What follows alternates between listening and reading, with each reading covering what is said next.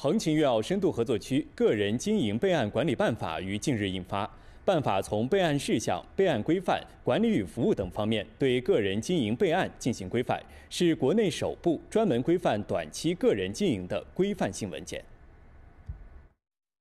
根据办法，有经营能力的公民在横琴粤澳深度合作区从事短期个人经营，符合相关条件的，可以申请办理个人经营备案。个人经营备案事项包括经营者姓名、住所和联系电话、经营范围、经营场所及经营期限，无需提供经营场所产权证明和租赁合同。备案内容简单。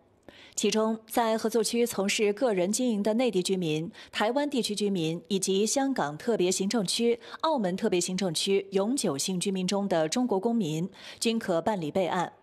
经营场所不限于具有使用功能的固定场所，临时市场等合作区允许开展经营活动的其他场所亦可备案。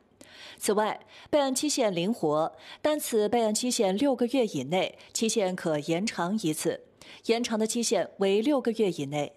同时，合作区商事服务局将为经营者申请转型为个体工商户或者企业提供便利，无需重复提交已有材料。